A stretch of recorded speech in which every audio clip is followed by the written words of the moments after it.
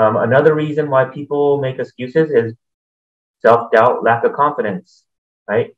So if you if you believe that you're not going to be able to do this task or accomplish this goal anyways, then you'll start telling stories as to why you weren't you weren't able to. But in reality, if you actually take a look at your day to day life and people around you, there's a lot of people that tell good stories, right? As to what things don't go their way or they don't accomplish something or they're stuck or they're stagnant, right?